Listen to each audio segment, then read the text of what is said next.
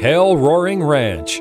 This light commercial project consists of 6,000 square feet of exterior ICF walls made by Fox Blocks. It's an aircraft hangar built in Stanley, Idaho, one of the coldest locations in the lower 48 states. The contractor specified ICFs due to the extreme environment and remote location this building is situated in. The project was completed at the end of November 2018 after winter weather had already set in on a site that was three hours from the nearest batch plant. This structure is heated year round, so a high performance exterior wall was a must in order to minimize energy bills. Each wall was raked, meaning that it extends to a sloped roof or ceiling, and was cut using a festool track saw. The raking required temporary support for an unsafe wall, which using Fox blocks helped to solve as the plastic struts built into the forms keep the blocks from sinking. Plumb wall bracing was utilized to keep everything laser straight, with an incredibly high level of craftsmanship throughout.